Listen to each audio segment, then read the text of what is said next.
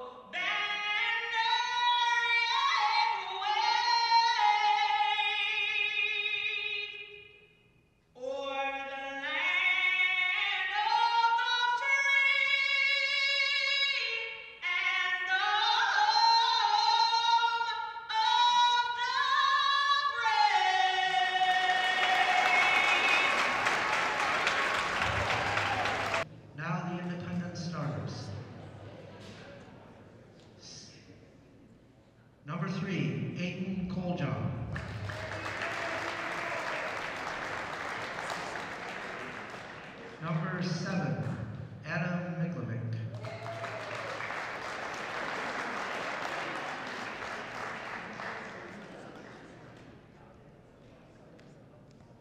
Number one, Eric Winterson. Number 20, Matt Richards.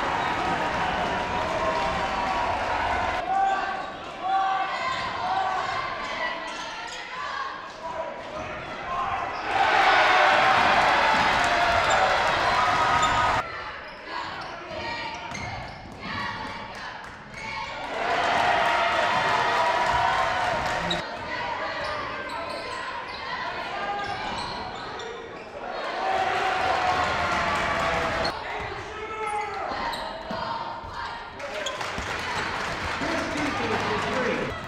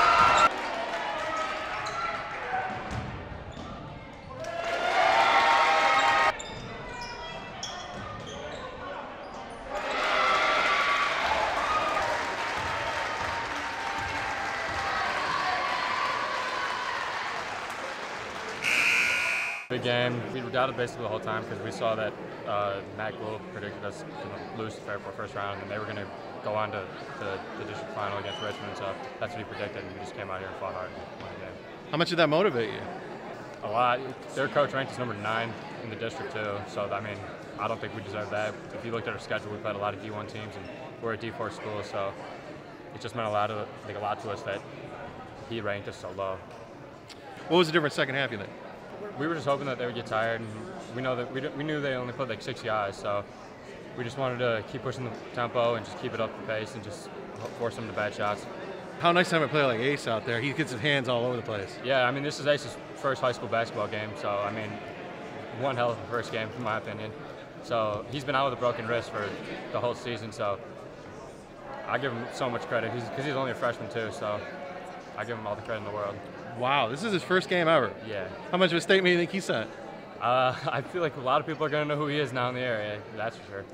How nice was it on the press too? You were kind of leaking out, and you got that nice dunk in the end. Yeah, I mean that was my first in game. Uh, the hoop is a little low, I'll give him that, but uh, it felt good to finally do it, and I know that gave him like my teammates a lot of energy and just increased the tempo. You guys jumped it up to 15, then they went on a 10-0 run. Were you guys getting nervous at all? No, coach called a timeout. We kept it cool and we just calmed down, and we just all just needed to calm down. We just got ahead of ourselves, and it, it just takes time out. I mean, it's a game of basketball, it's just about a game of run, so we fought hard, and luck- luckily we came out with a win. So what can Blue Devils fans expect coming up next? Expect a great game against Dalton to Cornerstone Christian because we're ready to win another game.